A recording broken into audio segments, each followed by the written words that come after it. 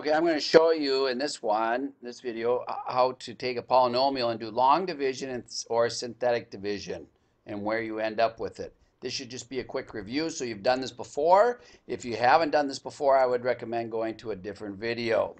Now, if I take this polynomial and I want to divide it by x minus 1, what I need to do then is uh, take and set this up properly. So I set up this polynomial in the long division form, and so this is my long division method. And I'm going to take this factor, and what I do is I look at this leftmost term, and I see how many times I can try to, well, what I need to match this up. So if I have just an x, what can I multiply by to match up this x, uh, 2x to the fourth? So look at the left terms. Now when I do this too, I like to put a left parenthesis and pretend like this is another parenthesis too. So what it would be is 2x to the third. If I put 2x to the third, I match this up into the x third column. So 2x to the third times x would give me 2x to the fourth. I'm matching it up perfectly. And then I'm going to go minus 2x.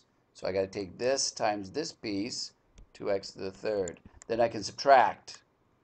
Now when I subtract, I'm actually changing all these signs. So this one actually becomes 6x to the third because I took 4 minus negative 2.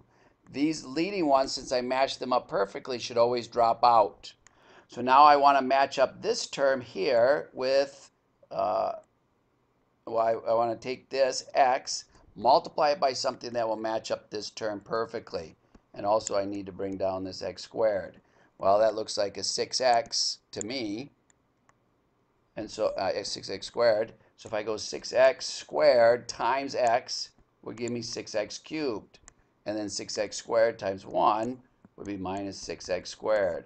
I'm going to subtract again. This one was a positive. Subtract these off, and then this one would become 5x squared. y. Make sure you can see y. Then I go minus 6x here. So then I'm going to multiply leftmost, leftmost again. This would be plus 5x. So I get 5x squared. Distribute there would be minus 5x. Subtract.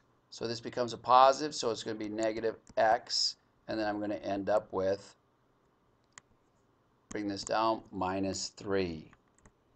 And so when I divide this, this is going to be, match up the leftmost term, it's going to be minus 1. So if I take this minus 1, it'll just be negative x plus 1. Subtract again, and that would give me a remainder of negative 4. So what do I do with this remainder? Well, I take this remainder and I put it up here, and I put whatever I'm dividing by below. So that's how you do the long division. If I do synthetic division, synthetic division, you just take the coefficients. Now, one thing I didn't mention is that you have to make sure that this is in descending order with all the terms there.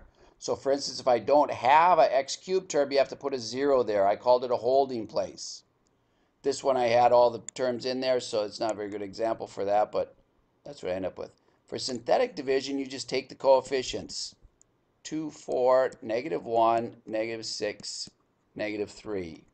And what you do is you put out here, you do not put the full factor, you put the value that makes this thing 0. Well, what value of x makes this 0? That would be positive 1. And then you draw a line here below. So what I end up doing then is I take this 2 and I bring it down. That's my first step.